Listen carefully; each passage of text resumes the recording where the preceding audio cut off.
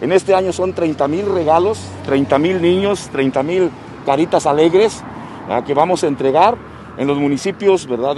del norte. ¿verdad? O sea, Aquí en Reynosa y en Río Bravo son aproximadamente 10 mil regalos. Es una cajita y esta cajita la mandan iglesias cristianas evangélicas, familias, universidades, empresas cristianas de Estados Unidos, aquí, ¿verdad? O sea, a Tamaulipas.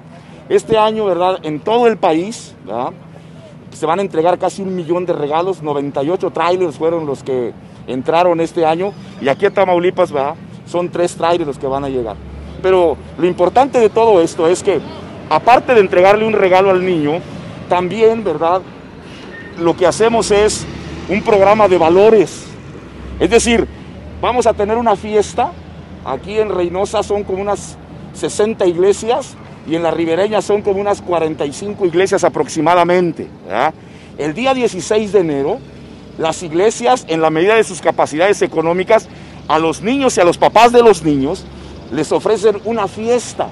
Y en esa fiesta al niño se le entrega el regalo, pero también se le invita a un curso de enseñanza donde les enseñamos valores. A cada niño, ¿verdad? Le entregamos un librito como este que habla de valores, habla de amor, de fidelidad, de familia, de unidad, de fe, de esperanza, ¿verdad? Entonces, no es únicamente entregar el regalo, es también...